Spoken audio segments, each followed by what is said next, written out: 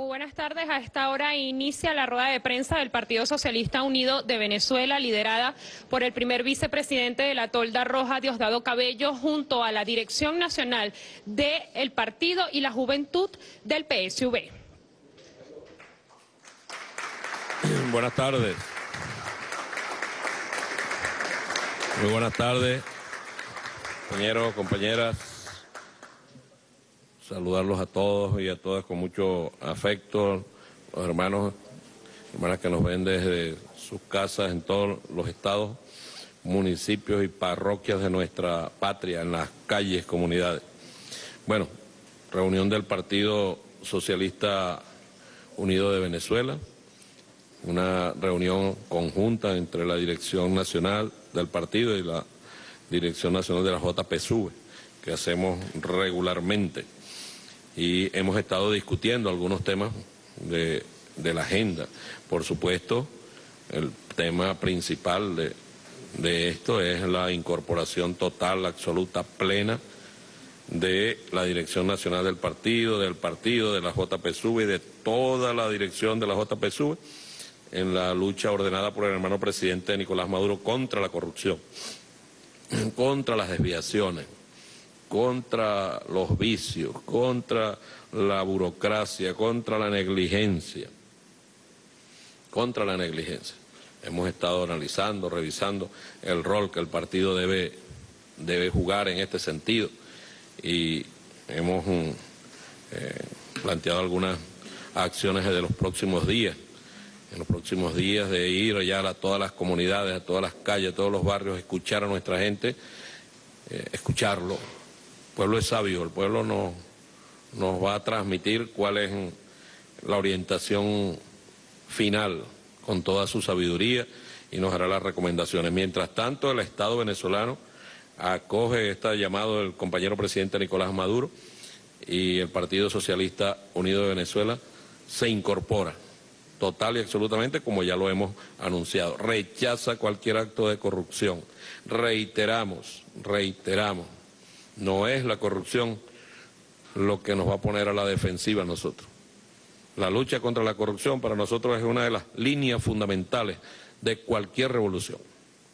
Es más, es indispensable que una revolución verdadera tenga entre sus líneas de acción la lucha contra la corrupción en cualquiera de sus formas y de sus maneras. No es revolucionario, no es del socialismo la corrupción. La corrupción es parte del modelo capitalista, del modelo acumulador capitalista, del modelo de depredador capitalista.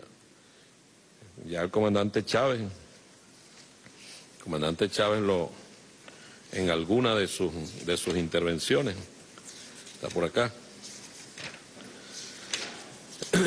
hablaba sobre este tema. Este es ese comandante Chávez, que no lo veo aquí. Aquí está. Alguna frase, comentarios del comandante Chávez. Hay un núcleo de hechos y antivalores ante los que no se puede ser indiferentes ni tolerantes, pues conducen a crear un estado de cosas donde la impunidad se convierte en algo normal y aceptado por todos.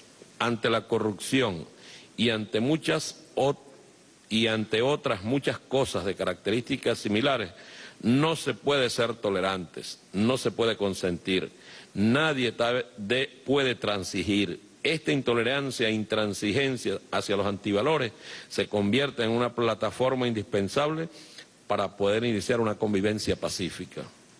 En otro momento, vamos a luchar sin clemencia, sin descanso, cueste lo que cueste, contra ese vicio que se regó por todas partes, como un cáncer por todo el cuerpo de la nación. La corrupción es toda una operación contrarrevolucionaria que está por dentro de la revolución. Hay que apuntalar y, apuntalar y afincar la batalla contra esos fenómenos que son verdaderas amenazas hacia el proceso revolucionario. El presidente Chávez lo define como una gran operación contrarrevolucionaria. Un funcionario no puede estar haciendo negocio. Luego dice, la corrupción es un mal endémico del capitalismo que erosiona las relaciones sociales, genera los antivalores en la médula de la sociedad que se incrustan en los procesos de transición hacia sociedades socialistas. Y terminaba con esta, con esta. Mientras más cercano a mí esté alguien y caiga en algún hecho de corrupción, tenga la seguridad que con mayor fuerza aplicaré el poder que me corresponde dentro de los límites del Estado de Derecho. Lineamiento del comandante Chávez. Bolívar. Bolívar sacó hasta un decreto de pena de muerte para los corruptos. El presidente Nicolás Maduro ha sido un consecuente luchador contra la corrupción. Nuestro pueblo así lo exige. Nuestro pueblo exige que se dé esa batalla y la vamos a dar. Los corruptos, métanse donde se meta, vamos por ellos. Vamos por ellos y vamos por ellos.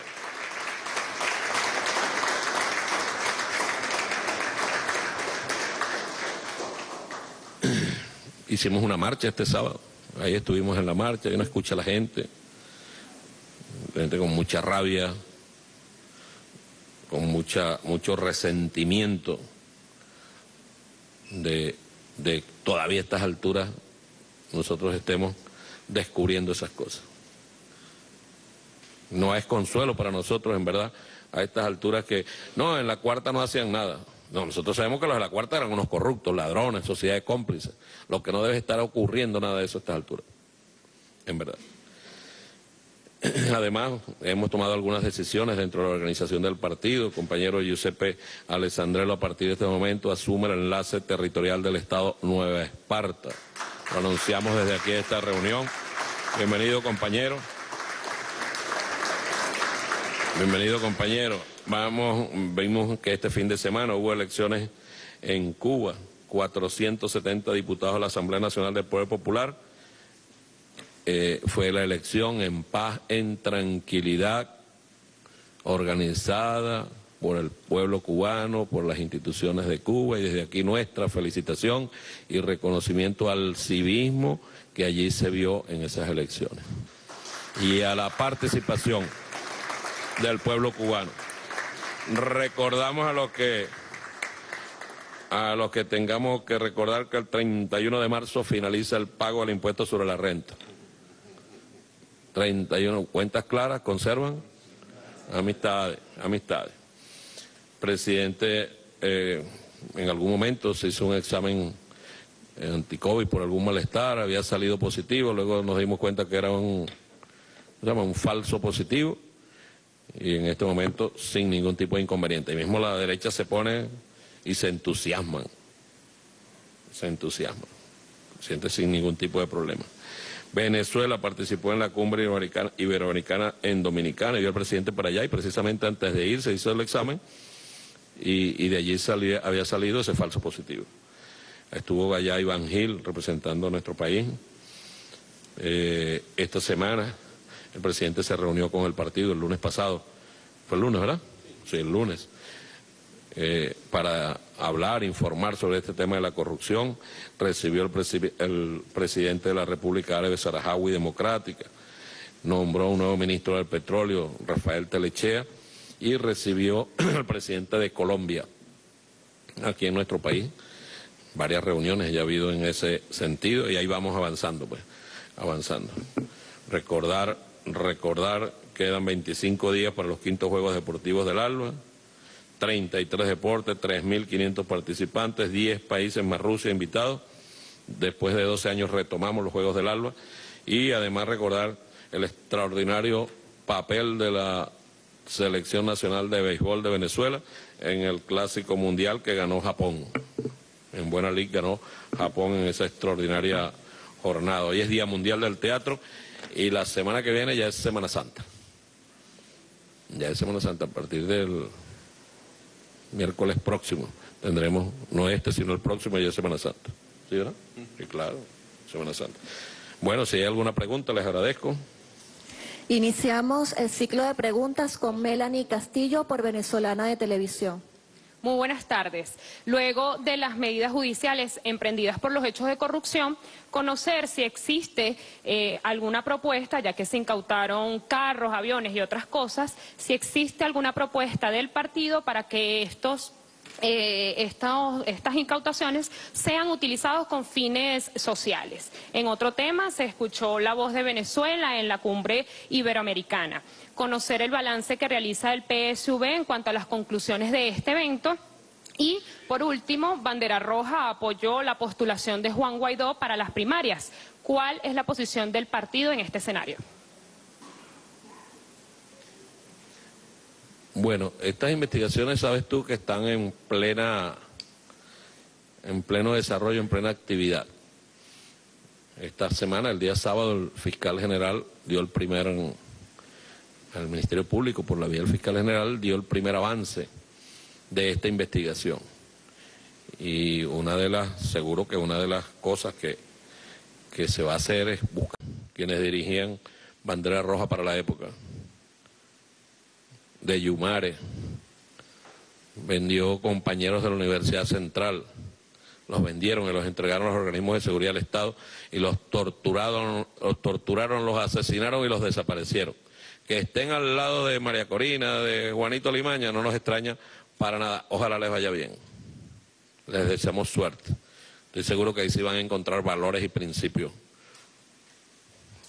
Los valores y principios que ellos perdieron hace tiempo.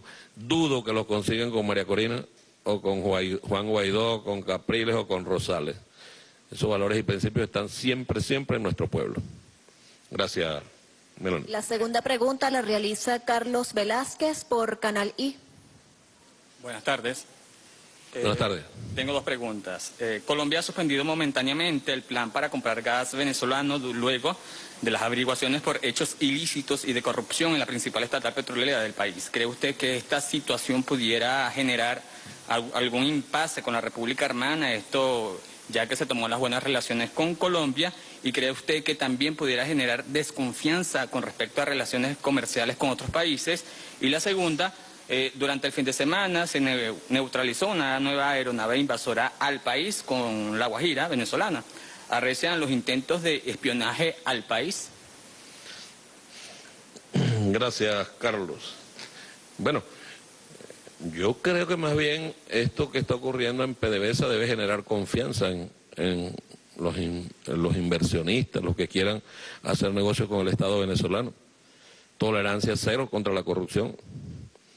No lo vamos a tolerar. Si yo estuviera en, otro lugar, estaría feliz por eso. ¿eh? Y con respecto al, al tema de, del gas venezolano con Colombia, todo eso tiene que ver con relaciones rotas por muchos años. Recuerda que allá en Colombia gobernó el narcoparamilitarismo en la mano de, de Iván Duque y decidieron romper las relaciones con Venezuela porque querían dar un golpe de Estado para que Venezuela se convirtiera en lugar de tránsito perfecto para la droga producida en Colombia, para sacarla por el Caribe. Eh, fue uno de los, de los gobiernos que más participación activa tuvo contra nuestro país. Entonces, esa eso es parte de esa misma negociación, mucho tiempo sin conversar, mucho tiempo sin hablar. Deberíamos recordar que el comandante Chávez una vez propuso, propuso un gran gasoducto que llegaba hasta Argentina. Revísalo para que vean, pasando por Colombia, porque las reservas de gas de Colombia y de petróleo no son muchas que digamos. ¿eh? Venezuela tiene muchas reservas de gas y de petróleo es una, una, una relación no solo necesaria, sino que indispensable que debe retomarse. Que debe retomarse. Y con respecto a la aeronave, mira, yo creo que todos los días Venezuela acomete acciones para defender nuestro territorio de los ataques de nuestros enemigos y de los ataques de los grupos de narcotraficantes. Eso no ocurría aquí en Venezuela antes. Comenzamos a, neutralizar aeronaves del narcotráfico cuando rompimos con la DEA, cuando aprobamos en la Asamblea Nacional una ley que así lo permitía, neutralizar este tipo de aeronaves que no se identifican. Estamos en todo nuestro derecho a defender el suelo patrio, las aguas de la patria y el aire de la patria. Pleno derecho.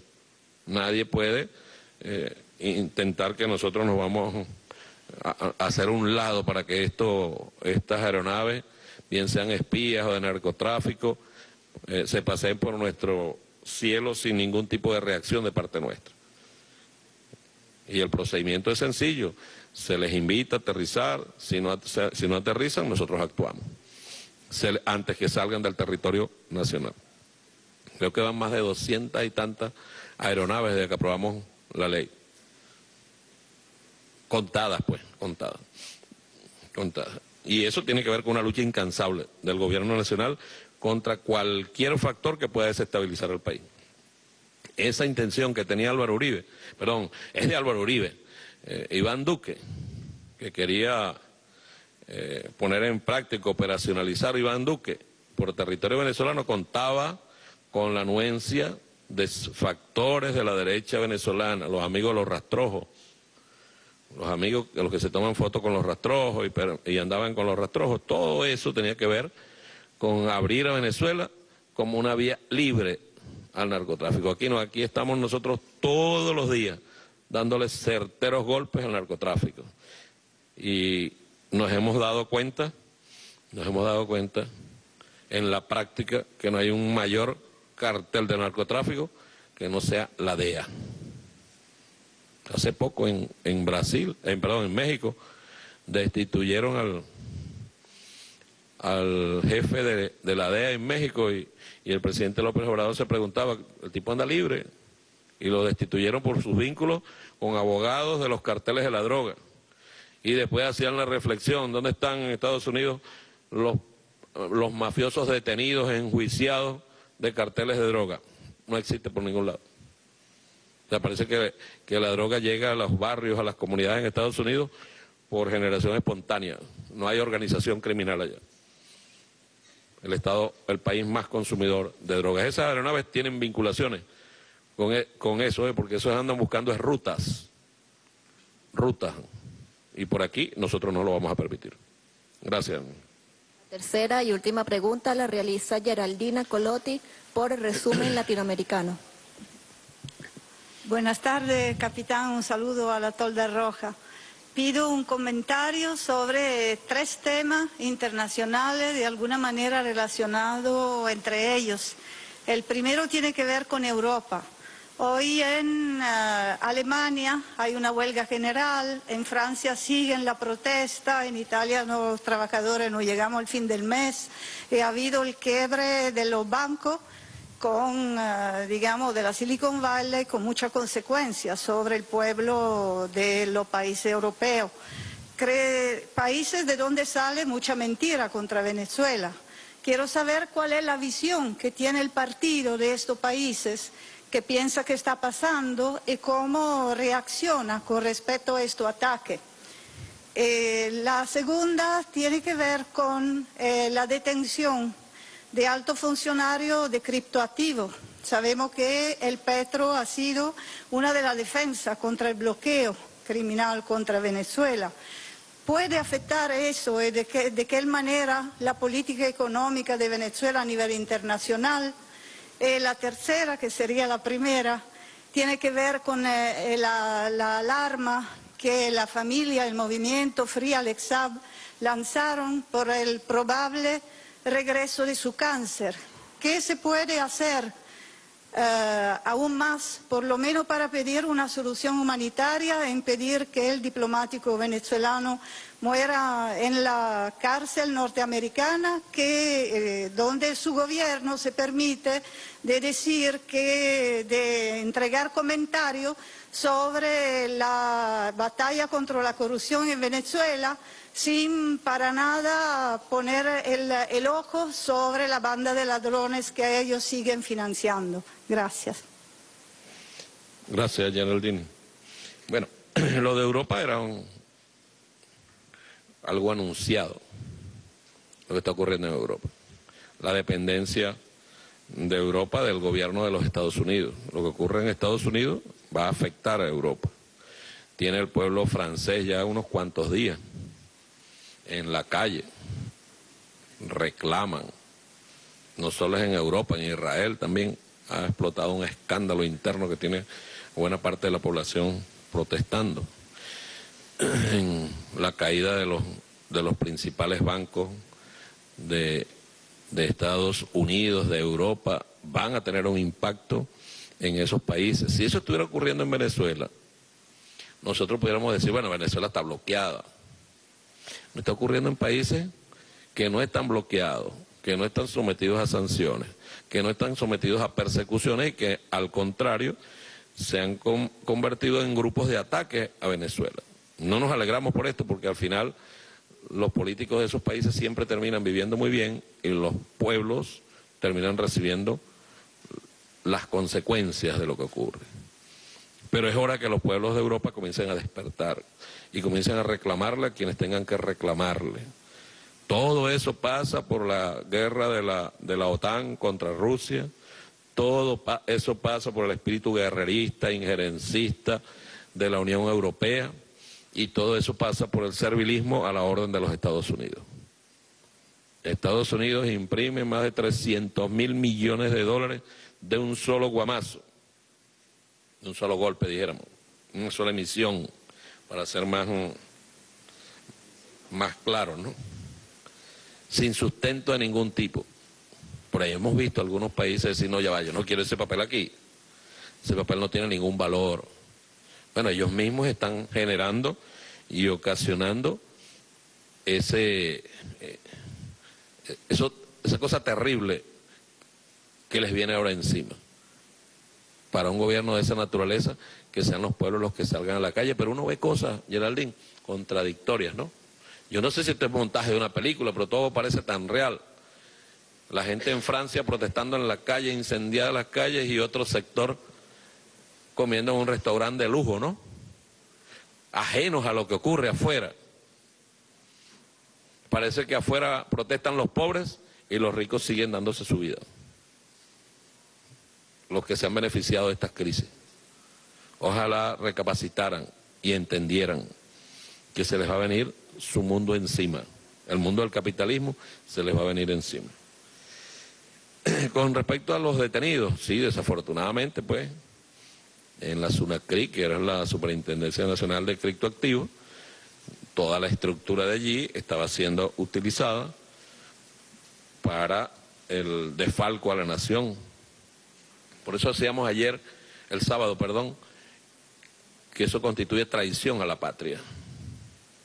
tenemos duda que constituye traición a la patria, porque la situación en la cual está Venezuela, esa de persecuciones, esa de bloqueo, esa de sanciones, eh, debería obligar a todos los que están en funciones de, de servicio al público, bueno, tener una clara condición ética y moral que los aleje de los actos de corrupción.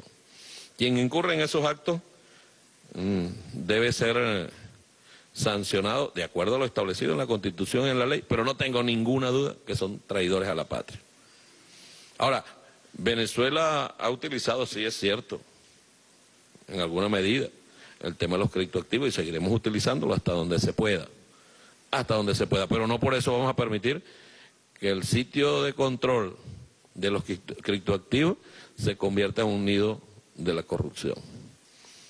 Y con respecto al tercer tema de, las alarmas que existen sobre la salud de Alexa, Alexa está secuestrada desde hace tiempo por los Estados Unidos.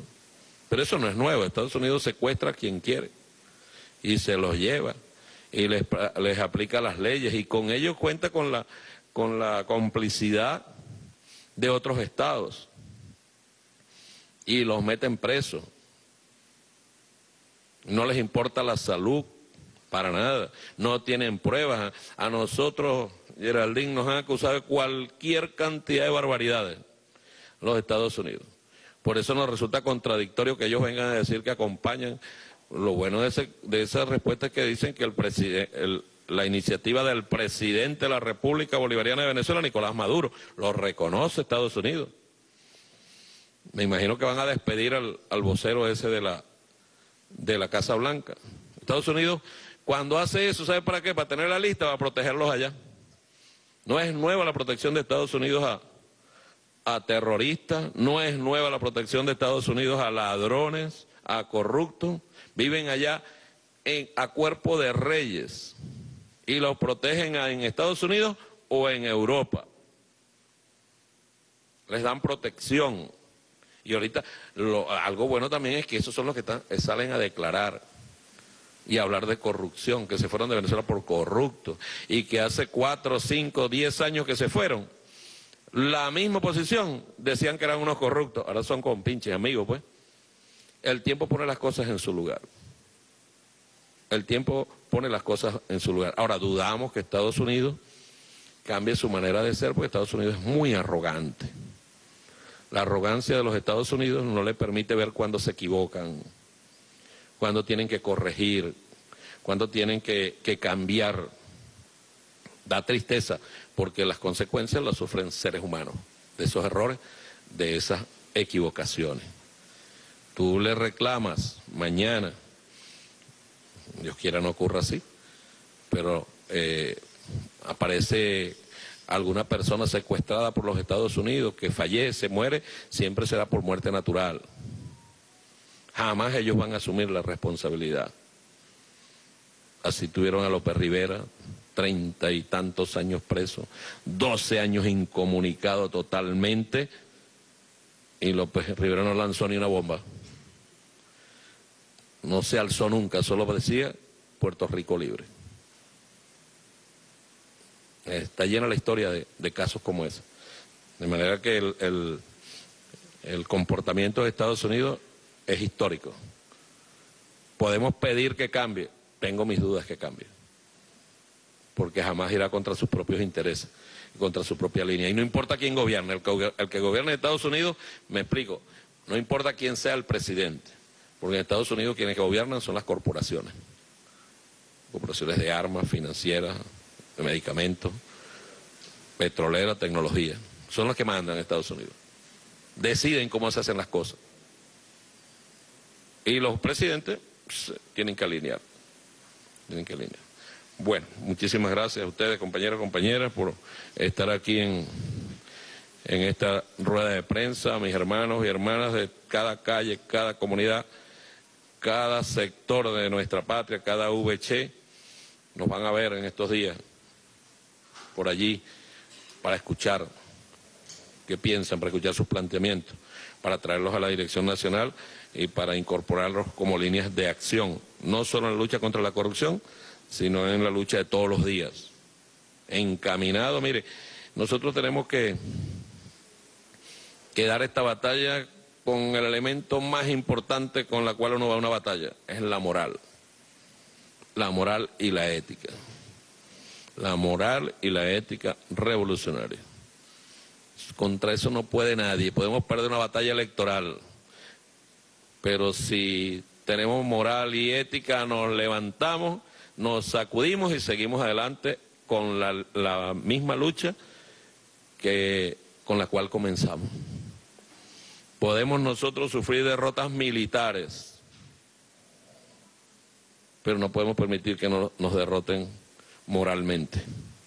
Ese sí sería el fin de la, de la revolución. Cuando nosotros sintamos que ya todo se acabó, que se acabó la historia, pues, en la revolución. Al contrario, cuando combatimos estas cosas sabemos que vamos por el camino correcto. El comandante Chávez decía, si usted siente que va por un lecho de rosa, por un camino muy limpio, por ahí no es. Vamos a buscar dónde están las dificultades y ahí vamos a encontrar las respuestas necesarias para seguir avanzando a lo largo del tiempo. Y los corruptos, métanse donde se metan, vamos por ellos, vamos por ellas. No los va a salvar nadie, nadie. Esta revolución seguirá adelante con nuestro pueblo, con el presidente Nicolás Maduro, con el legado de nuestro comandante Chávez. Y al final de la historia, nosotros venceremos. Que viva la patria. Que viva Bolívar. Que viva Chávez. Que viva Maduro. Que viva el PSUV. El Partido Socialista Unido de Venezuela rechaza de forma categórica cualquier acto de corrupción. Ratifica que acompaña el Estado venezolano en las acciones para combatir este flagelo y en ese sentido explicó que la Dirección Nacional y la JPSV se desplegarán en cada calle, comunidad y Estado para escuchar al pueblo y que sea este fundamental para dar la lucha contra la corrupción. Es la información y con ella retornamos. Adelante.